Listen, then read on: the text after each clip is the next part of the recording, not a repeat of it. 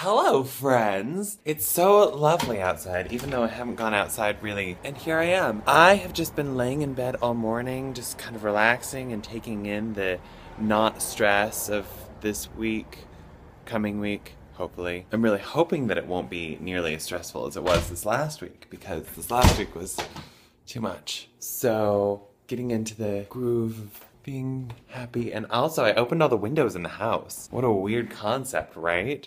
So that, you know, it wouldn't be quite as dreary in here. Anywho, I've just been watching Gilmore Girls all day. And it's been wonderful. Except I did edit a little bit this morning. It appears I have some variety of problem.